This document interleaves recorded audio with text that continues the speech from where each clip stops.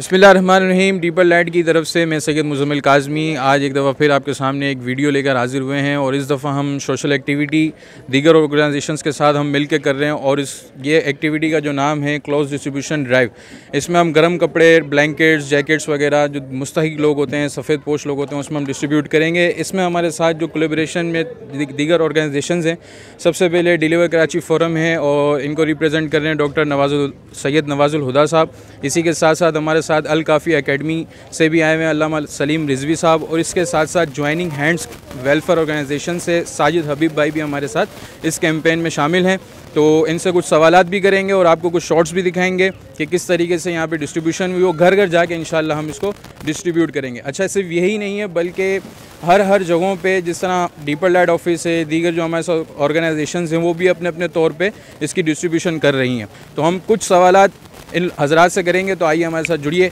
Let's go अल काफ़ी academy से अल्लामा सलीम रिजवी साहब हमारे साथ मौजूद हैं और अपने स्टूडेंट्स के साथ इस डिस्ट्रीब्यूशन में अपना हिस्सा मिलाने आए आए, इनसे एक सवाल करते हैं, बड़ा इंटरेस्टिंग सवाल है और एक पॉइंट वाला सवाल है जो आजकल बड़ा उभर रहा है। तो सलीम भाई, हमारा जो सवाल है वो ये है कि उलमा जो एक दीनी तबके से ताल्लुक़ रखते हैं, जिनका काम मस्जिद व महराब व मदारस संभालना है, वो सोशल एक्टिविटीज़ में नज़र नहीं आते। आप माशाल्लाह एक सोशल एक्टिविटी में यहाँ पे आए भी हैं। आपके हवाले से हमने ये भी देखा है कि आप राइटर भी हैं ऑथर भी हैं, कितनी किताबों के एक बाकायदा अकेडमी भी आप चला रहे हैं। दरस निज़ाम आप पढ़ाते हैं। आप इस एक्टिविटी में आए ओलमा तो हमको नज़र नहीं आते। तो आप इस तरह आगे इस तरफ़ आगे ये क्या मतलब कुछ समझ नहीं आ रहा? बसमीम अल्लाह रब महमद वसल्लम महमद सबसे पहले तो ये जो आपने एक सवाल कायम किया है तो ये मुशाहे की कमी हो सकती है ऐसा नहीं है कि उलमा जो है वो खिदमत खल के हवाले से काम नहीं करते। लेकिन इस दौर के अंदर जो माशी हालात हो चुके हैं पाकिस्तान के और जो हालात हैं, इसमें महराब मंबर को संभालना और उसकी ज़िम्मेदारियों को अदा करना ये भी एक बहुत बड़ी जॉब है। और अल्हम्दुलिल्लाह रबालमीन दीगर हम शोबा जात में अगर देखें तो उस लिहाज से उलमा और जो वारिसान महराब मंबर हैं तो वो एक बहुत अच्छे अंदाज़ के अंदर मस्जिदों में लोगों को जो है वो रहनुमाई कर रहे हैं और लोगों को जो है वो रास्ता दिखा रहे हैं इस्लाम का, दीन का। तो हम उनको पहले तो अप्रिशिएट करते हैं कि वो एक अच्छे अंदाज़ में अपनी जॉब को जो है वो पूरा करें। दूसरा ये कि हमारे जो आप तारीख़ उठा कर देखें, असलाफ़ की, बुज़ुर्गों की मशाइ की तो खिदमत खल का काम बहुत ज़्यादा खानकाहों से और ख़िदमत खल का काम बहुत ज़्यादा आस्थानों से, आप इसकी पूरा एक तारीख़ है। तो ऐसा नहीं है कि उलमा जो है या मौलवी हजरात जो हैं, जो इस तरह के लोग होते हैं, वो खिदमत खल से ला ताल्लुक़ रहते हैं, ऐसा नहीं है। ठीक है? और मैं यहाँ पर ये अर्ज़ कर दूँ कि ये हमें उलमा ने ही सिखाया है कि खिदमत खल का क्या मकाम है? लोगों की मदद करने का क्या मकाम है? लोगों के साथ ताउन करने का क्या मकाम है? मेरा ख्याल है कि आप भी अगर यहाँ मौजूद हैं तो इसके पीछे आपके इस का या मस्जिद के जो आइमा हजरात हैं, उनका भी एक किरदार होगा। बहुत शुक्रिया, आप बहुत ज़बरदस्त गुफ्तु करी इन्होंने।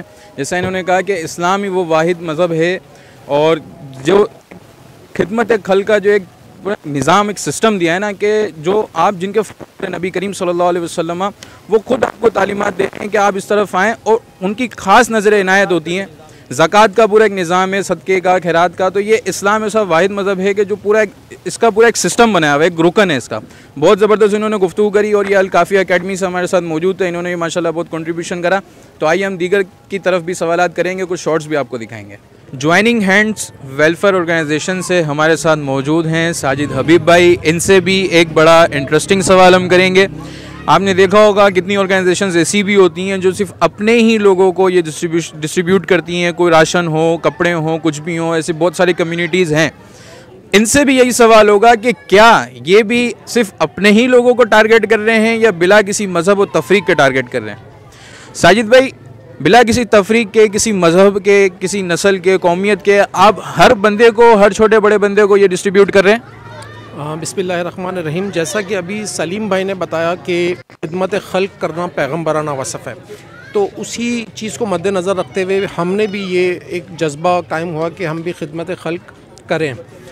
तो जॉइनिंग हैंड्स वेलफेयर ऑर्गेनाइजेशन की एक देरी ना रिवायत है कि जब भी मौसम की सख्तियाँ स्टार्ट होती हैं हम उससे कबल ही मुख्तलिफ़ जगहों पर जाकर, बिला रंगो नस्ल, बिला तफरीक, हम जो है ना डिस्ट्रीब्यूशन करते हैं। कंबल हो गए, जैकेट्स हो गए, स्वेटर हो गए। इसमें हम ये नहीं देखते कि महाजिर है, पठान है। एस्पेक्ट हम ये भी नहीं देखते कि वो नॉन मुस्लिम है। और आपको ये सुन के खुशगवार हैरत होगी कि हमारे जो डोनर्स हैं उसमें हिंदू बिरादरी भी शामिल है वो हमें डोनेट करते हैं और हम आगे जाके बांटते हैं। चाहे वो कोविड का मामला हो उसमें भी हिंदू बिरादरी ने हमारा साथ दिया और अब भी हिंदू बिरादरी हमारा साथ दिया है डोनेशन के लिहाज से।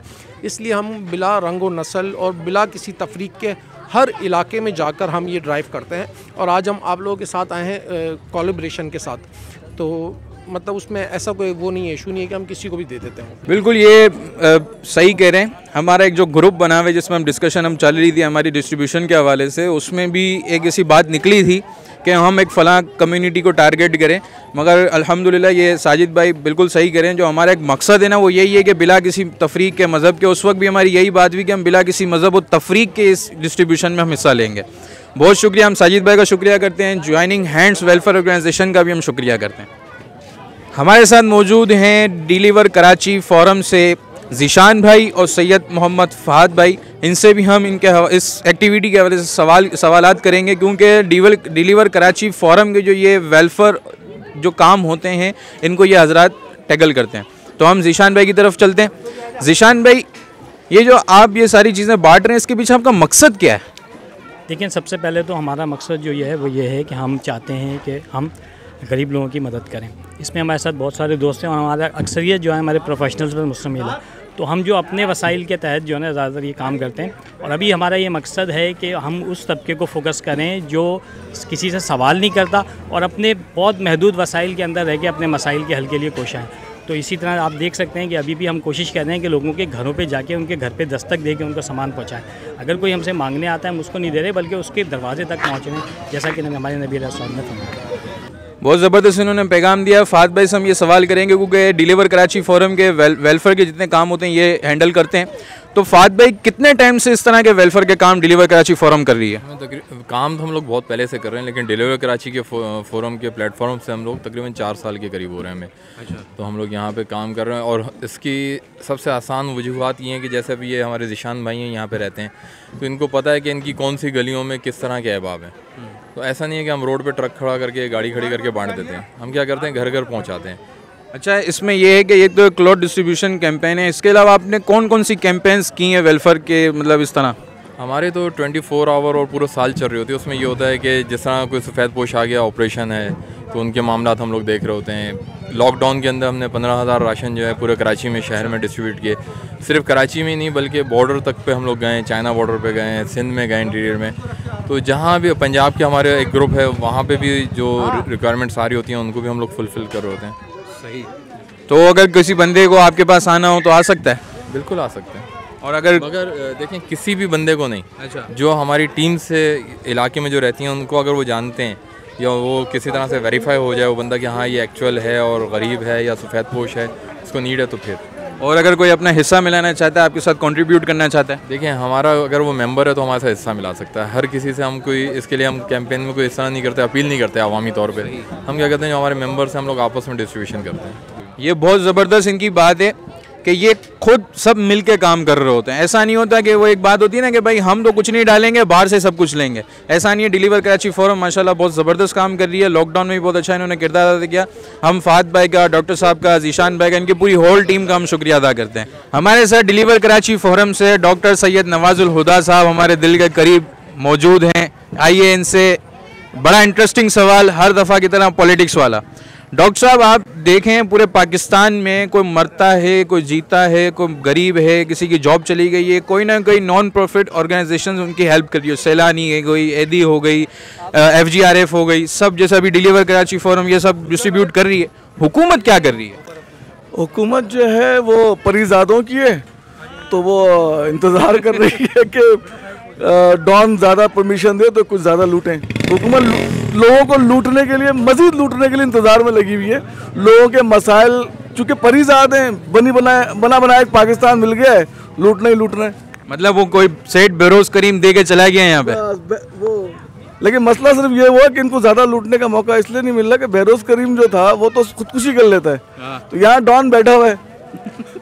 अच्छा टैक्स देने के बावजूद भी सहूलियत मुहैया नहीं हो रही है? देखिए ये जो कुछ भी आप एक्टिविटी कर रहे हैं ना मुजम्मिल भाई ये स्टेट की रिस्पॉन्सिबिलिटी है। और हमारा मुल्क जो है वैसे तो आइन में ये लिखा हुआ है कि पाकिस्तान एक वेलफेयर स्टेट है लेकिन ये आइन के हद तक है। इस वक्त इन इन लोगों ने इन परिजादों ने ये कर दिया है कि पाकिस्तान को यूरोप बना दिया है बतौर अखलाकी कदरों के हवाले से जो कवानीन है वो नाफिज करके। यानी कि आप इसमें इसको इस्लामिक जमहूरियत पाकिस्तान की मिसाल आप यूँ लें कि आप देखते हैं जाहिद जनरल स्टोर। तो एक आद, आदमी समझता है जाहिद का मतलब है कोई तकवे वाला शख्स होगा। तो बहुत ईमानदारी से चीज़ें बेच रहा होगा। लेकिन जब अंदर जाता तो दो नंबर ही चल रही है। तो हमारे यहाँ भी इस्लामी जमहूरियत में यही मसला है। तो यूरोप के सारे कानून इस वक्त इस हुकूमत ने नाफिज कर दिए लेकिन जो यूरोप में लोगों के हकूक़ हैं, वो नाफिजुल अमल नहीं हैं। तो ये जिस दिन वो यूरोपी हकूक भी नाफिज कर दिए तो फिर ये एन ये नहीं करेंगे, फिर हम परिंदों को बचाने पर बात कर रहे होंगे, कीड़ों को कैसे सेव किया जाए उस पर बात कर रहे होंगे। क्योंकि उनके पास काम नहीं होता, वहाँ की एन क्लाइमेट पर इन्वायरमेंट पे कर रही हैं। और हमारे यहाँ एन जो है वो लोगों की मदद करने में लगी हुई हैं। मतलब हम बहुत नीचे गिर चुके हैं। हम गिरे हुए हैं हमने ये देखा है कि जो लोगों की मदद कर रहा होता है उसका बंगला भी होता है उसकी गाड़ी भी होती है सब कुछ वेल सेटल्ड ज़िंदगी होती है। आपकी गाड़ी आपका बंगला किस तरफ़ है? तो मेरे पास जो गाड़ी है वही बेगम की है। बंगला है नहीं भाई के घर में रहता हूँ साथ उनके। तो ये ये मेरे पास फ़िलहाल। बाकी जो सैलरी कमाता हूँ तो टैक्स पहले कटते हैं सैलरी बाद में मिलती है। मतलब आपका कोई ऐसा सिस्टम नहीं है? नहीं हमारा कोई system- क्योंकि हम इस तरह से फंड लेते नहीं हैं।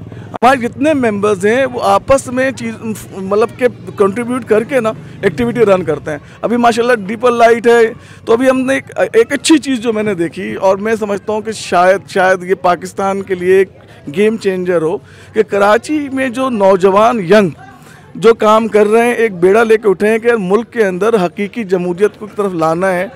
तो और वो सारे आपस में मिल गए। जैसे कि इतनी बड़ी एक्टिविटी आप रन कर रहे हैं कि डीपल लाइट है इसके अंदर काफ़ी है इसके अंदर डिलीवर कराची है ज्वाइनिंग हैंड्स हैं, और आपके मुस्लिम यूथ अलायंस वालों का भी पार्ट है।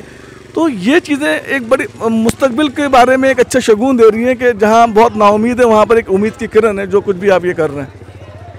डॉक्टर साहब का हम शुक्रिया अदा करते हैं। उन्होंने हमें सवालात करने का मौका दिया और हम डॉक्टर साहब के साथ खड़े हैं।